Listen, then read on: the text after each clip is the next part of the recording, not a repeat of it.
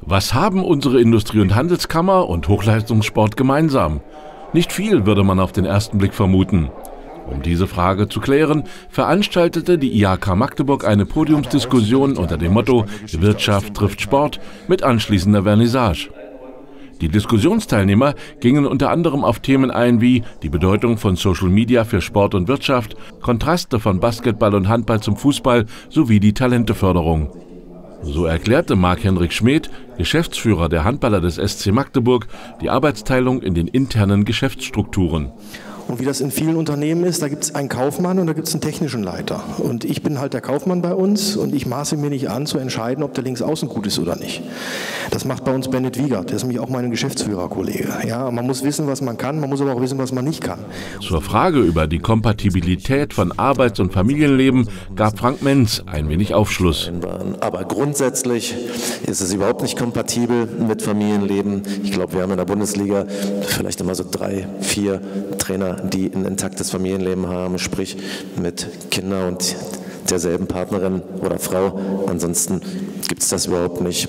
Und selbstverständlich wurde auch das Thema Frauen in Sport und Wirtschaft diskutiert. Ein Beispiel für den sportlichen Teil brachte hier der Handballschiedsrichter Robert Schulze. Wir haben in, im Handball, kann man sagen, was äh, das Schiedsrichterwesen angeht, äh, frauentechnisch eine richtig gute Strategie. Zielsetzung ist bei den nächsten Olympischen Spielen, dass auch wirklich aus jedem Land äh, Frauenschiedsrichterinnen mit dabei sind. Auch vom Thema angetan zeigte sich Stefan Korneck, Vizepräsident der Industrie- und Handelskammer Magdeburg.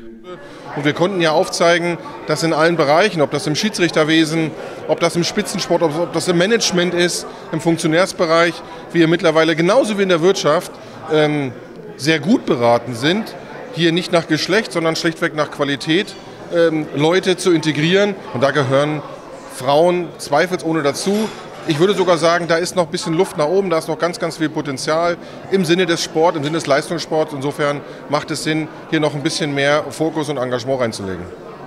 Abgerundet wurde die Veranstaltung von der Ausstellung Fotoart for Athletic des Fotokünstlers Dennis Wolf. Ähnlich wie seine Vorredner hat auch er großes Interesse am Sport und lässt sich durch diesen inspirieren. Ja, ich hatte ja selber meinen Sportraum damals gehabt, den ich früh an Nagel hängen musste. Und ich liebe es einfach, Menschen vor der Kamera zu haben, die für ihre Sache brennen. Die, äh, ja, und dann letzten Endes im Fotoshooting treffen Leidenschaft auf Leidenschaft aufeinander und dann hast du dann eine Energie im Shooting und das liebe ich einfach. Und diese Energie findet sich in Wolfs Kunstwerken wieder. Mit einer eigenen Bildsprache bringt er seine Kunstwerke zum Leben. Die Verwendung von Bildbearbeitungsprogrammen spielt dabei eine zentrale Rolle. Es geht nicht nur um Sportler, generell bei Menschen, die bei mir vor die Kamera treten. Es geht mir darum, die Persönlichkeit der Menschen zu erfassen, sie kennenzulernen, sie wirklich wahrhaftig wahrzunehmen und das dann auf die Bilder zu transportieren. Und Photoshop bietet mir einfach die Möglichkeiten, die Grenzen der Fotografie ja, zu überschreiten, Sachen zu machen, die nie so aus der Kamera kommen können. Ja, und dann natürlich meine persönliche Note mit reinzubringen, eine komplett andere, und aber auch die Sportler noch in einem ganz anderen Licht darzustellen. Sachen machen, die ohne Aufwand nie zustande kommen könnten. Das müssen auch erfolgreiche Unternehmer. Ausdauer und Zielstrebigkeit sind Grundlagen des Erfolges.